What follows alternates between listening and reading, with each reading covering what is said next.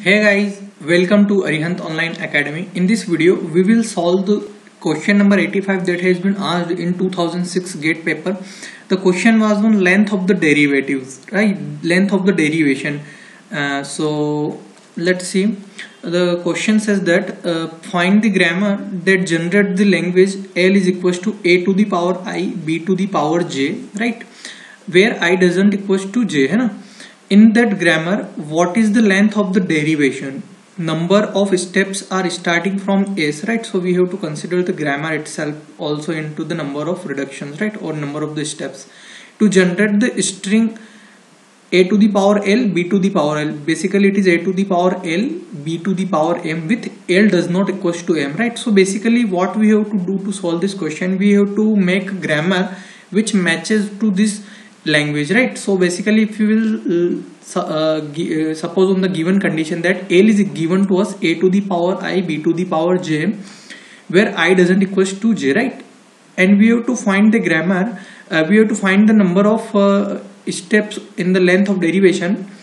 So that a to the power l and b to the power m will be there where l doesn't equals to m right? And number of st steps which will be start from s we have to count that also. So suppose that language s is given to us derive ac c tends to acb and epsilon and a derives aa and smaller right?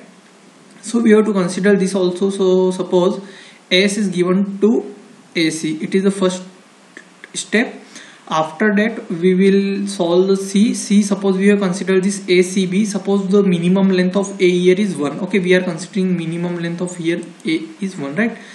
And in the third step we will uh, we will sort out the a. So on the place of this a we have reduced it via first option aa then what we have in our third step a a small a c and b right? In fourth step uh, we have reduced this c with the epsilon so in fourth step we get a derives a a a b right? And in our final step we will further uh, solve or reduce this a with smaller right? Terminal way so we will get a, triple a and b right?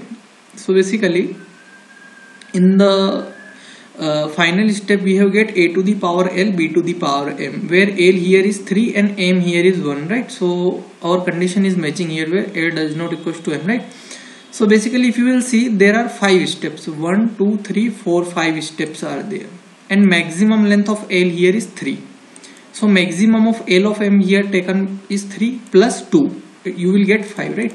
So basically we have taken example of the language that are matching with our given condition and then we have solved the uh, question according to the question uh, given questions condition right? So we have find that maximum of lm plus 2 uh, means the option 1 is the true answer right? Further if you have any kind of doubts or query in the solution you can comment us and we will try to solve your uh, doubts and query right? So i hope you will understand it. Further if you want to get more solution on gate net and any kind of cs exam or further see uh, normal exams like gk current affairs right? Reasoning quant aptitude so that you can uh, just subscribe our youtube channel and press the bell icon button so that you can get instant updation from our side whenever we will upload a new video. Thank you so much guys. Have a nice day. Jai hind jai bharat